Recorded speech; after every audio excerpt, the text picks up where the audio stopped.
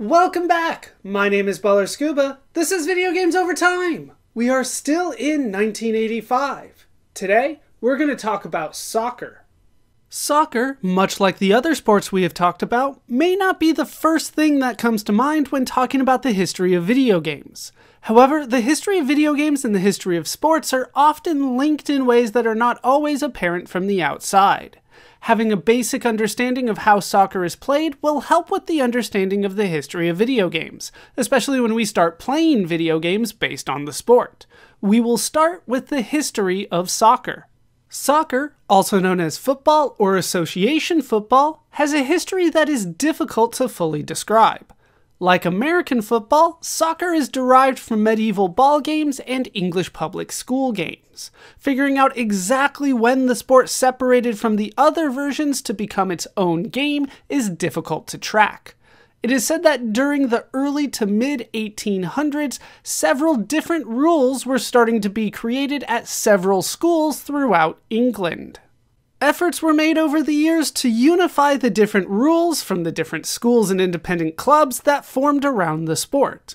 It was in 1863 that representatives from several different football clubs met in London to form the Football Association, or FA, the world's first official football body. The FA held six different meetings attempting to get the nation's schools to join the association, but most of those early efforts failed. As a part of those meetings, rules were published by the FA through some tough negotiation. The first competition under their rules was held in 1867.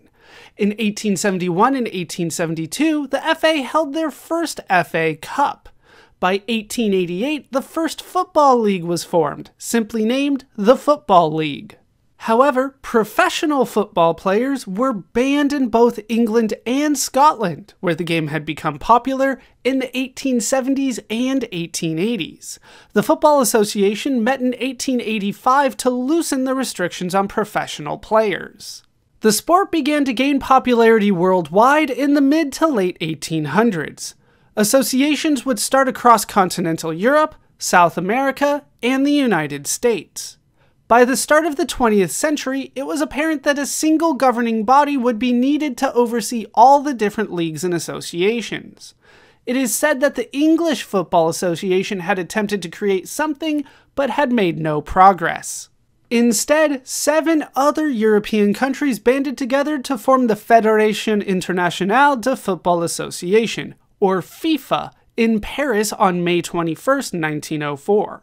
FIFA would hold its first international competition in 1906, but this was met with little success. FIFA would hold its next tournament as part of the 1908 Olympics in London, which was far more successful. Other nations outside Europe, including South Africa, Argentina, and the United States, would join FIFA from 1909 through 1913. World War I would then prove to be a stumbling block for FIFA, as the countries of the United Kingdom withdrew from international competitions, unwilling to compete against their World War enemies. However, the league would continue. South America would continue to push the sport forward in the meantime. The first continental championship, the South American Copa America, was held in 1916. To capitalize on the popularity, FIFA would hold its first premier competition, the FIFA World Cup, in Uruguay in 1930. This was played mostly by countries from the Americas, with much of Europe not seeming to take an interest. The FIFA World Cup would become a tradition, with competitions scheduled every four years. Much of Europe would join the FIFA World Cup in the next competition in 1934. However, the 1942 and 1946 FIFA World Cups were cancelled due to World War II.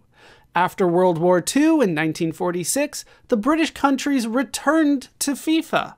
Once all countries were back competing, it was not long before the FIFA World Cup would become the world's biggest sporting event. Other continental championships would emerge, including the AFC Asian Cup in 1956, the African Cup of Nations in 1957, and the European Championship in 1960. Soccer had become incredibly popular, easily the world's most popular sport. By 1985, dozens of nations have their own leagues and their own governing bodies. There are even championship leagues for some of the teams that win their home league. Nations routinely train their best players for international tournaments around the world. The most prestigious international tournament is still the FIFA World Cup, held once every four years. The last FIFA World Cup was in 1982, won by Italy. The next will be in 1986. That is a very brief history of soccer through 1985. Keep in mind that there are hundreds, if not thousands, of organizations, teams, and people that helped contribute to the history of the sport that we do not have time to get into here. Each nation has a rich history in the sport, and the people in those nations tend to be proud of their soccer history. Soccer is taken very seriously by many people around the world, to the point that even my use of the standard American name for the sport, soccer, is fairly controversial. With the history of the sport briefly told, let's take a look at how the game is played. Soccer is governed by a set of rules known as the laws of the game, first established in 1863 and continually updated ever since. Soccer is a team sport, with 11 players from each team on the field at once. These teams will compete with a round soccer ball or football. The field itself, or pitch, is a rectangular flat field with two boxes on either side filled with a net. This box is known as the goal. There are two white rectangles on the pitch near the goal. The smaller one is the goal area, extending 6 yards, 5.5 meters, from either goal post and 6 yards onto the field. The larger rectangle is the penalty area, sometimes known as the box. The penalty area stretches 18 yards, 16 and a half meters, from either goal post, then 18 yards onto the field. There's a spot in the penalty box known as the penalty mark. It is in the very center of the goal, 12 yards, 11 meters, onto the pitch. There is also a penalty arc on the outside of the penalty box that stretches 10 yards, 9.15 meters, from the penalty mark. In the center of the pitch, there is a halfway line with a center mark in the middle and a center circle. The halfway line marks the exact center of the pitch. The center circle stretches 10 yards around the center mark. The team's ultimate goal is to get the ball into the other team's goal on the opposite side of the field. This is known as scoring a goal. Whoever has more goals at the end of the game, typically consisting of two 45 minute halves, will win the game. Most players on the field are not allowed to touch the ball with their hands or arms during play. The exception to this would be a special player that is positioned as a defender near his team's goal, known as the goalkeeper. The goalkeeper can touch the ball with any part of their body. Other players will typically move the ball in one of three ways. The players can dribble the ball, lightly kicking it as they move along the field to try to retain control of the ball for themselves. The players can kick the ball to another teammate as a pass, or the players can kick the ball at the goal in an attempt to score a goal, known as shooting or taking a shot.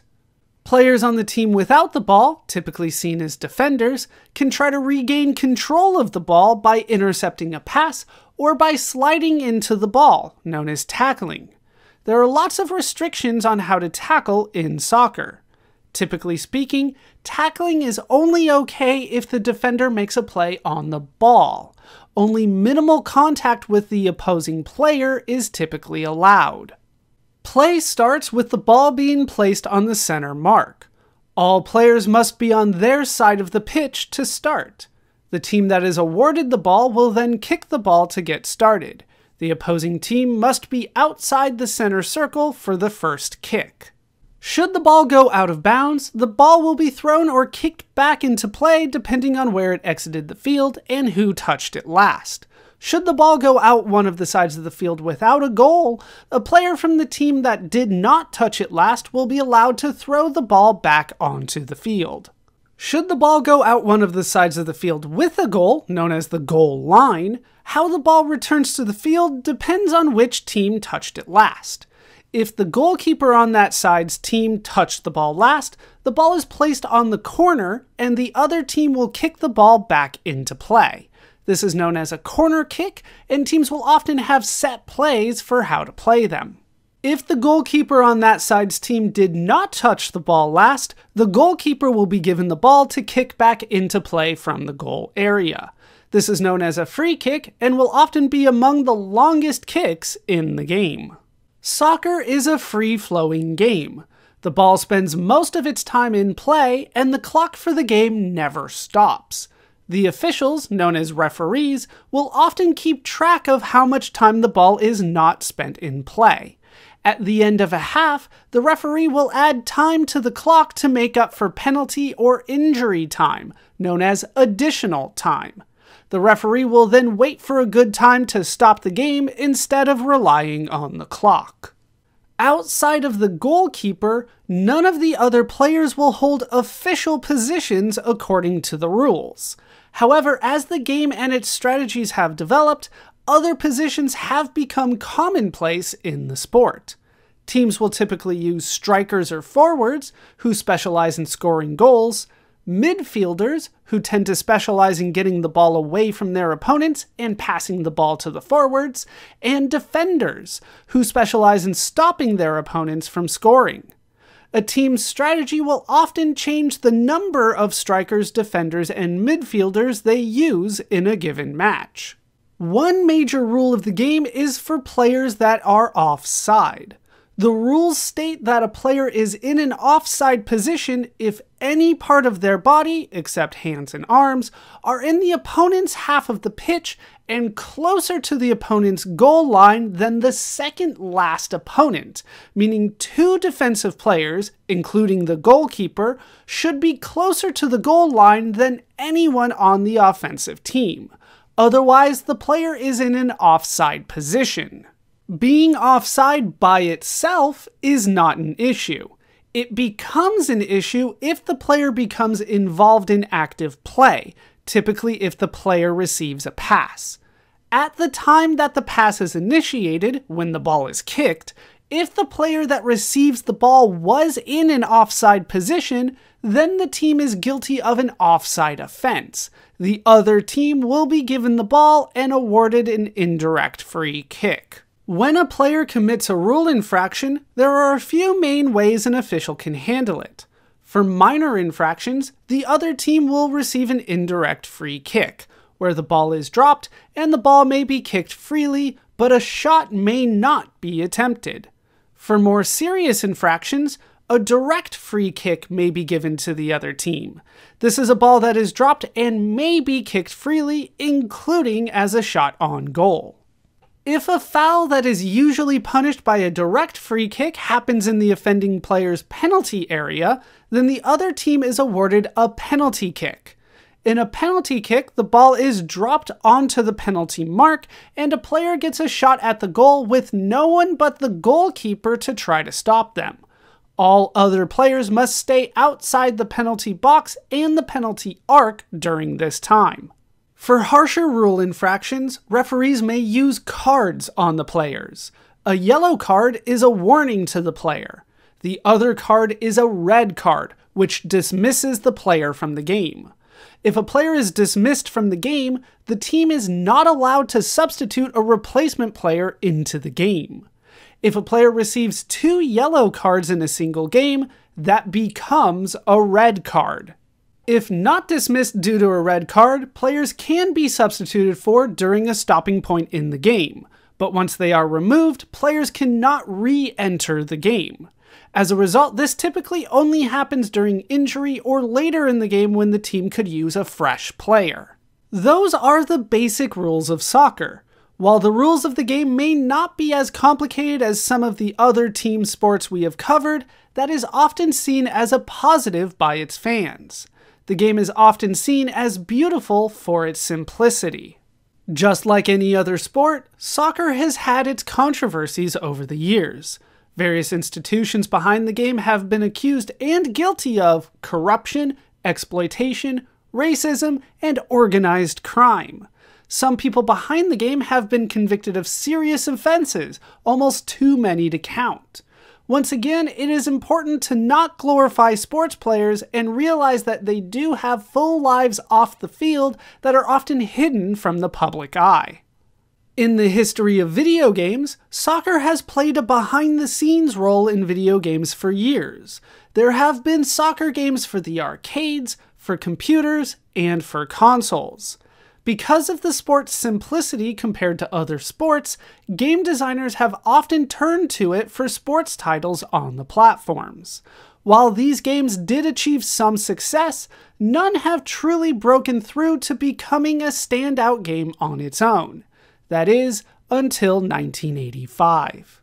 That will do it for the story of soccer for now. My name is Baller Scuba. This has been Video Games Over Time. Thank you so much for watching, and I hope to see you in our next video when we go for the cup.